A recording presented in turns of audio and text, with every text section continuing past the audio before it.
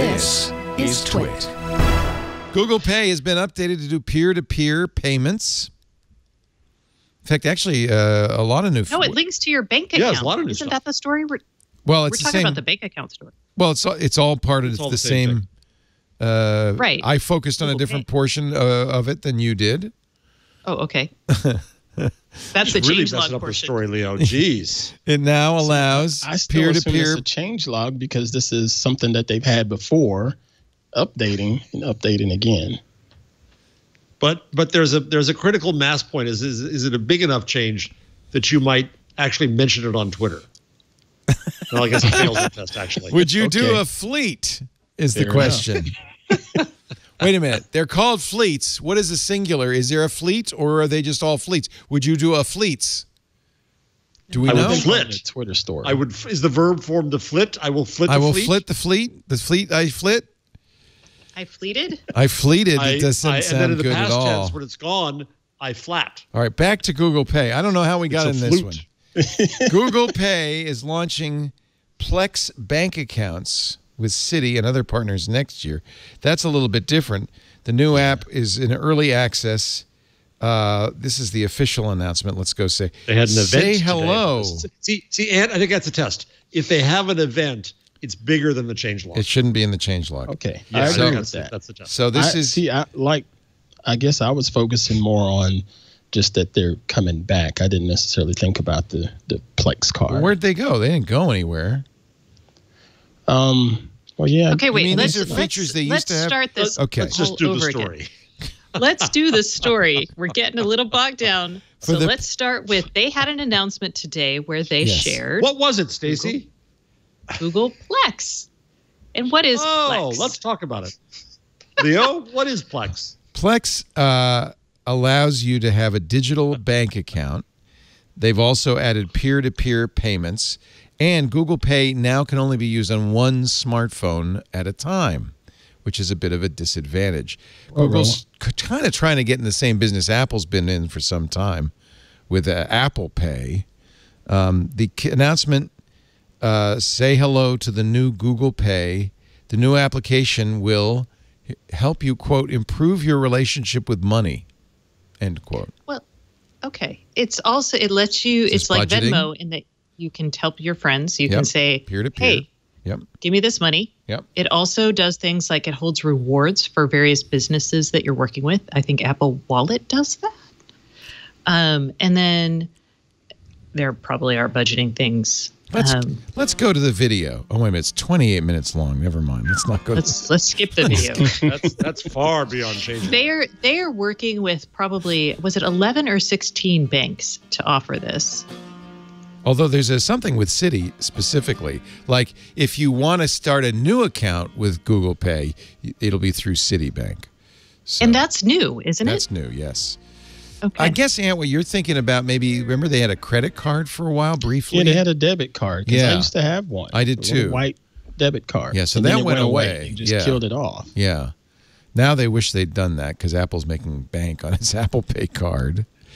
These Plex accounts uh, are with Citi, but other partners will come along next year. Uh, so it's more now. Basically, Google Pay was touch touchless payments, NFC payments. And if you want, you can link your bank account with Google and get like all this information tied to what you've purchased, which is kind of like searchability and I assume eventually analytics. Well, and what's interesting, of course, is Google has for some time offered uh, advertisers using uh, Google's ad platform uh, cross-reference information. Uh, th- this is what advertisers love. Oh, and by the way, that person who saw your ad the next day charged that product at the store. And, and Right. remember when we announced that, and everybody's saying, "What? That's w- kind of creepy." Uh, because I guess they're collecting the transaction information and they can match you up somehow to the credit card transaction.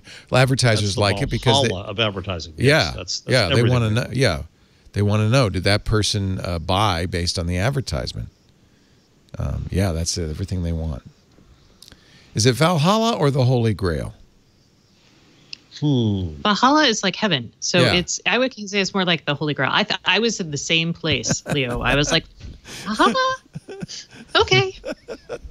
Well, but it's Valhalla, heavenly. I saw Valhalla. It's not. It's the halva of advertising.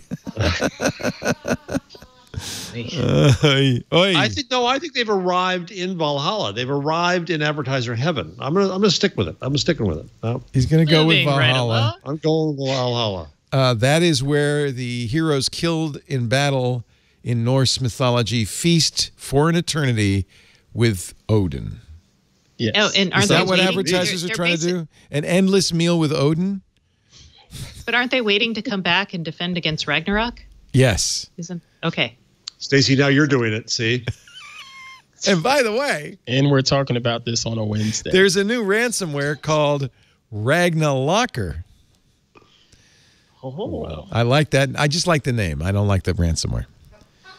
Uh, with regards to, to this account, um, would you all recommend the average person to to just dive in and use this as their accounting system, bank bank account system, or do you suggest going to? no, because Google will kill it in three years.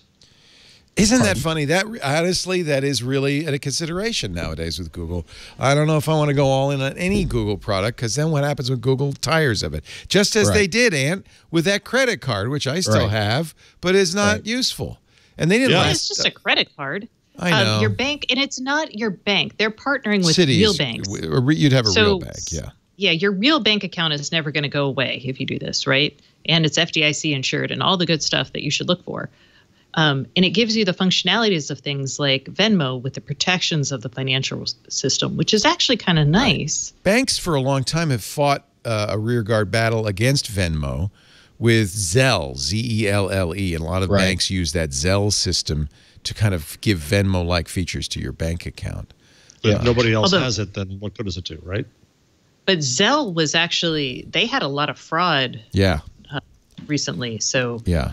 that's that's a little bit. I What like Venmo. Everybody has Venmo. Everybody App. takes Venmo. I use Venmo all the time. When my kids That need money, I Venmo it to it. Or Cash.me is good. Yeah, um, that's from Square. I. It's interesting. I mean, I've been I've been researching digital, you know, uh, online only bank accounts for some time because I'm always looking to see if there's a better deal out there. And the thing when you're assessing an online bank account, you got to figure out what the fees are going to be, what it's going to cost you if you go below a certain amount. Uh, you may be, if you have a savings account, interested in what their rate is in the savings account, and those vary widely. So there's some consumer shopping that's appropriate before you create a bank account with anybody. Uh, I usually go to NerdWallet, which does some reporting and rating of these kinds of things Yep. to see. Uh, they'll at least there's at least a place you can go to kind of compare the the various rates and so forth.